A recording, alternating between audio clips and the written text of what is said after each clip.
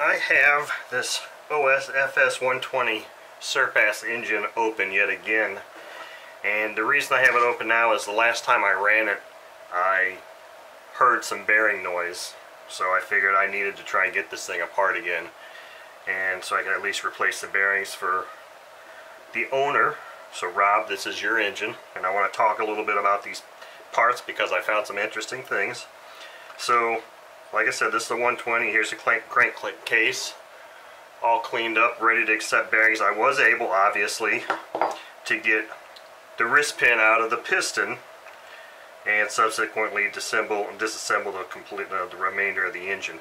Uh, these parts, needless to say, were pretty nasty. I do not have pictures of them before because I kind of tore the thing apart last night again and just immediately started soaking them. Now the steel parts like this, if they're rusty, I will put them in calcium lime rust remover, CLR, and then as soon as they've soaked and the rust is gone, wipe them down with alcohol real good and then lube them up and oil them really well. That's why this has got a sheen to it because it's all oiled up because the calcium lime rust remover, the CLR, unfortunately will open up the pores in the steel and if you don't immediately protect it with oil uh, the surface rust will start forming again. So some interesting things here. If uh, anyone that's familiar with the Surpass series of four-stroke engines realizes that there's this hole in the back of the crankcase and that's where you're supposed to extract this wrist pin which on an engine that is sat or has not been run for a long time that's obviously going to be a point where it's very stuck, stuck uh, gummed up and very difficult to get that pin out, especially if you don't have a means to extract it. But if you look at this sleeve, this sleeve is, is pristine, it's in nice condition, but the thing that's nice about it is it's got this little mark here, this wear mark, not a wear mark, but just a uh, discoloration from where that hole is, so it always gives me a good way to line up and make sure I put the sleeve in exactly the same spot because you've got that mark there from the wear mark or, you know, it external temperatures and things can and can touch it there. Uh, one thing that is interesting about this piston is that on other Surpass engines I've opened up, the 26, the 48, 20, 70, they all had, you had to pull the you know, wrist pin out, you know, but on both of those sides the wrist pin had Teflon pads on both sides. This one is different. This one, you're not able to push, once you get that wrist pin free and moving, you're not able to push it out and go this way with it. Uh, on ASP engines, they made sure that that didn't happen by making that hole in the, that side of the piston smaller so the wrist pin could never go out that way. Uh, but what OS has done on this 120 Surpass is there's actually a wrist, there's actually a, a little C-clip, not a C-clip, but a retaining wire in here that actually precludes that wrist pin from being pushed out that way so you can never push it out and then have to figure out how the hell to get it to go back that way. Uh, the funny thing that was with this is that uh, I was actually able to get the crankshaft or the connecting rod off without extracting the crankshaft, which was odd, but I think it all had to do with how well I got this thing cleaned up. If you can see, this thing just slides smooth as silk on here. There's no excess play or anything. This thing's in great shape now. But I was able to just get that, the whole piston and everything came off. Then I just afterwards went back and, and pulled this wrist pin out and made sure it was clean and oiled up and lubed up real good so that it'll smooth, it'll slide really smoothly. Now here are the bearings that came out of this engine. These were really rusty, really rusty, and I soaked them in calcium lime rust remover. Now I don't intend on reusing them by any means. I just wanted to see how well that CLR would clean them up and it did a pretty good job. Now the reason this one looks weird is this rear bearing was actually, it's got some kind of strange clear plastic or discolored plastic uh, thing holding the race on on this side and this side was actually shielded. A metal shield which you should never have and the shield was actually facing backwards. So, and it was hard to tell that just because it was so rusty.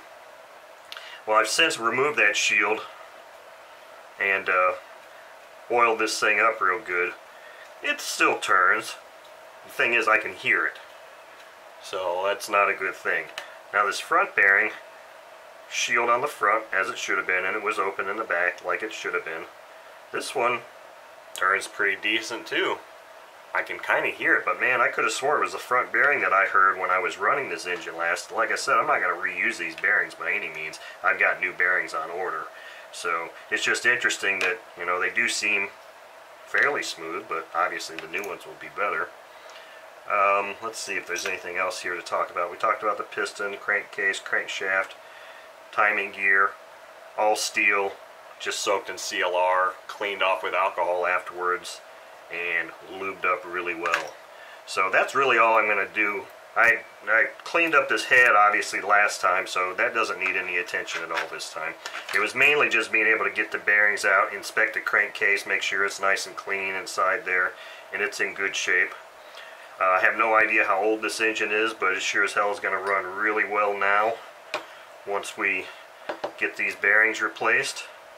And as soon as they are here, which should be the end of the week, I'll probably throw another video together with this information on there to show the reassembly of this engine and then obviously there's going to be more videos of the engine running because I'm going to want to run the hell out of this thing just because it's fun. Well these bearings for this OS FS120 Surpass arrived yesterday so now the process to start rebuilding this engine with the right bearings. So here's the 6002 and uh, 6000 Obviously this will be the front bearing. So we'll get to removing one of these shields.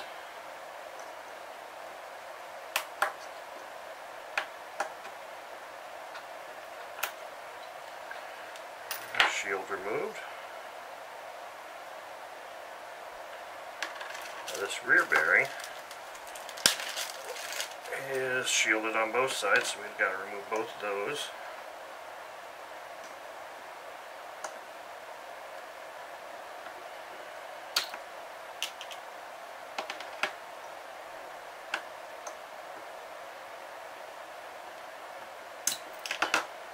And those shields are removed.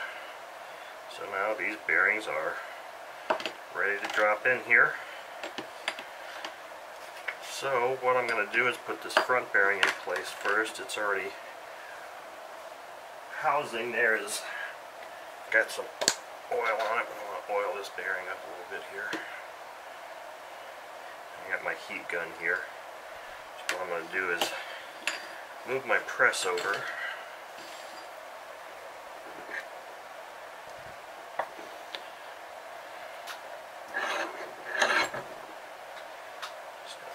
this in place here.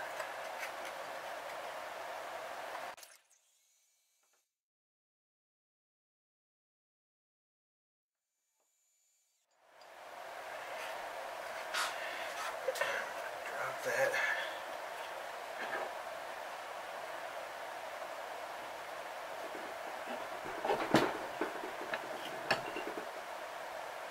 Okay, I've got the rear bearing in an impact socket that's just the right size to use to press that in place. So I'm going to heat this case.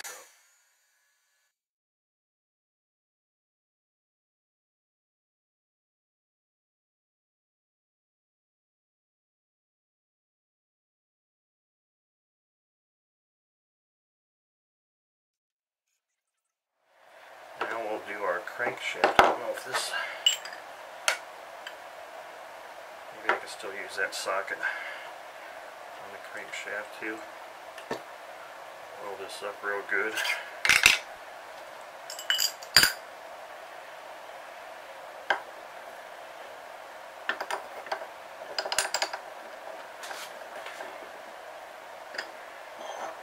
Smaller position here.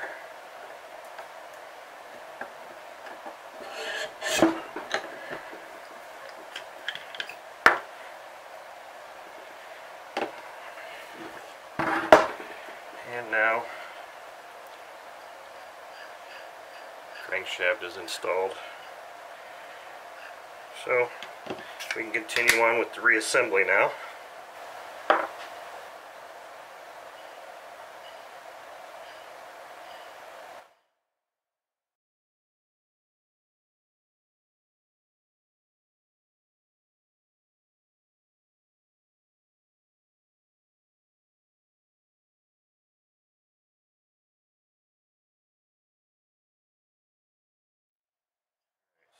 Good there. So the next thing is I've got my piston, connecting rod, wrist pin, and then that little Teflon piece that goes in the one side. So as I said in the last one, there's a wire retainer that keeps that wrist pin from going forward, so that also means that this is the orientation of the piston. And I don't see a front or a back on this, but you can tell by the chamfered side of that connecting rod that that part faces out, so that means this goes just like this. But, you know what, I don't want to do it like this because I want to do it as if I actually had this off, pull the wrist pin off, which I didn't need to do to get at the piston to come off, but let's pretend like that's how we're reassembling this. So I got the connecting rod on, my piston, the wrist or the retaining pin goes here, so this goes on like this. Now I'm going to rotate this down to a point where I can see the hole. And you know what I'm going to do to make this easier? I'm just going to go ahead and insert this in one side.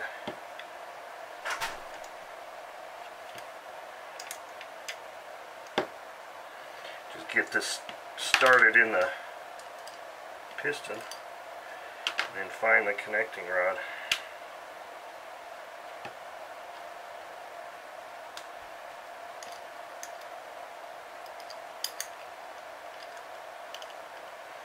So that's going in the piston. I just kind of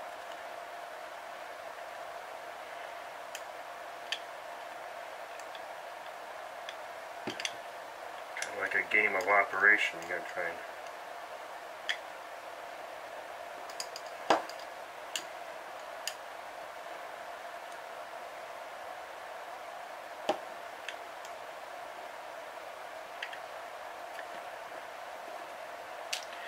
And there we have it. Piston installed. now here, I want to make sure I lube the inside and outside of this really well. And I'm going to pay special attention to this mark because I want it to face out of that window. So I'm just going to kind of lightly put this in here and kind of start twisting it in a screwing motion. Let me find my dark spot again here. Just kind of twist it on until you get it to go over the ring. Just like that. And I've got my hole lined up just the way it was, and voila. Sleeve is installed now too. So that's pretty much the stuff for this engine right there like I said, all the other assembly has been covered already and this head didn't need any attention at all. So I think that's where we're going to leave this right now. And then the next video of this engine will be of me doing a test run with these new bearings.